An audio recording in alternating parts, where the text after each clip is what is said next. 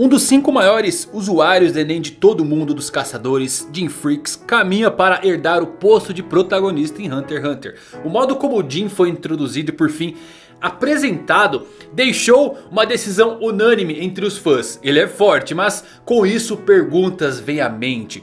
Ele é mais forte que Netera, ele pode derrotar a trupe fantasma ou mesmo o Hisoka? Quais seus verdadeiros poderes e acima de tudo... Qual a sua categoria de Enem? Ele criou um jogo que é basicamente um mundo com cartas que concedem poderes. Deixou um rádio por 12 anos com uma mensagem esperando por Gon. Copiou os poderes de Leório só para deixar-nos mais curiosos e confusos. Afinal, qual o limite de poder de Jin Vagabundo Freaks? Quer saber? Então se liga que eu vou falar nisso agora.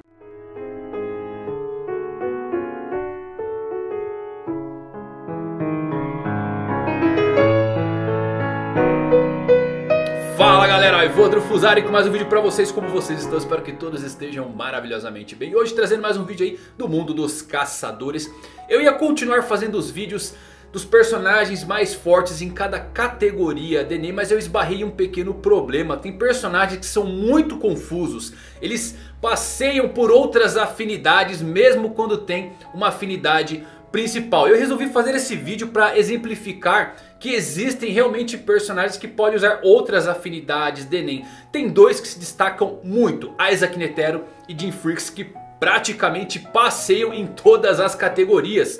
Jim Freaks é um especialista, é um aprimorador, é um conjurador. O que diabos esse cara pode fazer? Então eu vou usar o Jim aqui para a gente tentar descobrir qual é a sua categoria principal. E depois a gente volta para descobrir quem são os personagens mais fortes em cada categoria. Então eu espero que esse vídeo divirta você, que engrandeça um pouco o seu conhecimento do mundo dos caçadores. Se você ainda não se inscreveu, aproveita para se inscrever e ativa o sininho para receber notificações de vídeos como esse. E agora sim, vamos descobrir qual é a categoria de Enem principal e quais os limites de poderes de Jim Freaks. Eu inicialmente costumava pensar que Jin era um especialista baseado no tanto de coisas que ele fez na série. Mas considerando e analisando os outros especialistas que a gente já viu. Eu não creio que a especialização realmente se encaixe muito bem para o Jin. Ele não tem um objetivo específico como outros especialistas. Neon, Kuroro, Kurapika. A sua ambição é uma coisa mais espontânea. Além do que o Jin é muito impaciente. E ele se encaixa bem no perfil de personalidade dos emissores. Porém eu acho que existem outras razões pelas quais eu posso passar para vocês que Jin é um emissor na sua forma principal de uso do Enem. Todas as habilidades que ele usou até agora, o rádio e a fita com a mensagem, Degon, feixes de aura, soco remoto, Deleório utilizam emissão como fagulha principal para sua iniciação. E aqui brilha a genialidade de Jin. Por exemplo, no caso daquela fita do rádio deixado para Gon. A aura de Jin permaneceu por 12 anos naquela coisa. É dito que a aura de um emissor tende a enfraquecer quando separada do seu corpo com o passar do tempo. Fora isso, ele é um monstro em manipulação já que o comando do rádio foi ativado perfeitamente e também um aprimorador de mão cheia já que o soco de Kirua não fez nada ao rádio quando ele tentou destruí-lo.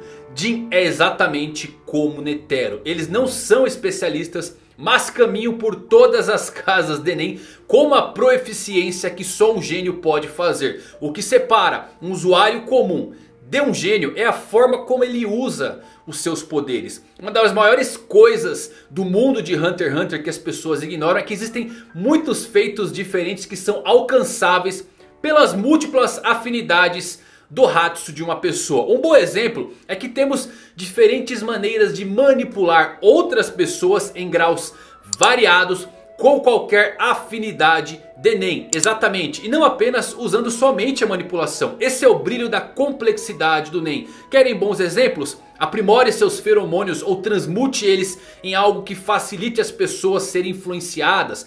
Conjure uma corrente de um relógio de bolso capaz de colocar o seu alvo em um estado de hipnose. Dependendo de como você pratica sua habilidade principal com um pouco de criatividade e genialidade. Você pode conseguir fazer quase qualquer coisa parecida com outras afinidades da escala de Nen. Shaunark, por exemplo, no seu modo automático, com um comando de manipulação ao seu corpo, cérebro e aura, consegue replicar o que um aprimorador pode fazer. Portanto, esse é o brilho de um gênio como Jin ou Netero. Não há mistérios para eles nas outras afinidades de Nen. Mas eles partem de algum principal. E para mim, Jin Freaks se encaixa muito bem como um emissor. E vou explicar o porquê disso para vocês. A classe de emissores até certo ponto confusa. Os emissores são capazes de realizar muitos feitos que são semelhantes aos de um conjurador. A diferença fundamental e de forma simples para você entender é que as criações do conjurador são objetos físicos e materiais que qualquer um pode ver, mesmo que não saiba utilizar o NEM. Como as cópias de Cortope, por exemplo. As criações de emissão, no entanto, são puramente feitas de NEM e não são materializadas. Portanto, apenas outros usuários de NEM podem ver as criações. Pessoas normais não podem. Emissão é a projeção ou propulsão do NEM de uma pessoa. Tem mais a ver com o movimento do NEM do que as propriedades físicas que ele pode criar. Mas voltando a Jim Freaks, nosso aventureiro. Até agora as habilidades de NEM que Jim demonstrou são o soco remoto. Que ele copiou essa capacidade Deleório de teletransportar seu soco e acertar pessoas de longa distância e as balas de fase. Ele dispara o seu Nen que pode passar por objetos sólidos como paredes e atingir o seu alvo até mesmo nocauteá-los. O legal é que Jin diz que quando copia um golpe que isso não é uma habilidade de Nen. Se fosse seria muito fácil, poderíamos classificar Jin como um especialista mais facilmente. Mas como ele afirma, é apenas um talento natural seu e ele mostra muita facilidade em usar poderes de um emissor. Ele faz parecer que as capacidades que ele aprendeu com Leório eram realmente suas o tempo todo. Ele precisa receber o golpe para copiá-lo e a forma que ele fez significa que ele tem um entendimento perfeito de como funciona a emissão. Isto é muito insano galera, uma pessoa ter um talento natural de fazer algo que um especialista faria. Um outro ponto que reforça a emissão ser a afinidade principal de Jim Freaks é quando Jim estava usando uma habilidade de Nen muito parecida com um pequeno estilingue enquanto falava com Gon lá na árvore do mundo. Aliás, dá pra ver o que uma pequena esfera de emissão de Nen pode causar quando Jim Freaks a usa. Devido à natureza das emissões, muitas técnicas de Hatsu acabam sendo criadas para serem usadas principalmente de longo alcance. Mas para mim o que mais encaixa em Jin como um emissor é que ele é a reencarnação espiritual de Yusuke Urameshi, o protagonista da série anterior de Togashi Yu Yu Hakusho. Sua estatura física, sua estrutura facial, suas roupas, sua atitude despreocupada e até mesmo egoísta, um vagabundo por natureza. Yusuke é um emissor e todos os ataques de Jin mostrados até agora são ataques que basicamente eram uma assinatura de Yusuke, o Leigan e o Shotgun. Só que Togashi aqui apenas reimaginou usando eles através do solo ou da parede. Mas são os mesmos poderes. Existe uma forma de identificar usuários de Nen por sua personalidade. Inclusive se quiserem depois eu faço um vídeo para vocês descobrirem afinal qual é a afinidade de Nen que você pode ter. Mas bem, os emissores são impacientes, não detalhados e rápidos em reagir de maneira volátil. Muitos deles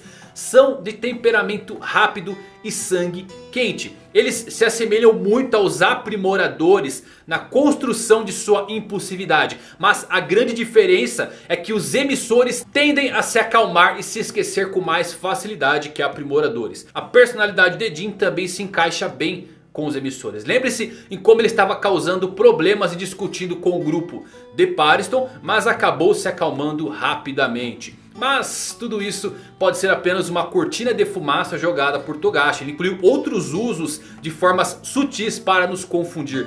Jing treinou pessoalmente a habilidade Crazy Slot de Kaito que é do tipo conjuração. Sem contar a monstruosa criação que foi todo o jogo de Grid Island. Eu espero que de fato ele não seja um especialista, isso seria fácil demais para o Jin. Eu espero que ele seja como Netero. Ele pertence a potencialmente um grupo de Nen talvez menos interessante como a emissão. Mas ele usa o Nen de maneira tão eficiente e tão criativa, completamente fora da caixa, de maneira que você nunca seria capaz dizer a qual grupo ele realmente pertence. Eu acho que simbolicamente Togashi gosta de pintar Jin como um exemplo de alguém que mostra as verdadeiras qualidades de ser um caçador. Em grande parte muito parecido com o que Netero foi. E como não teremos mais Denetero no seu auge na história para nos mostrar o que é o ápice de poder.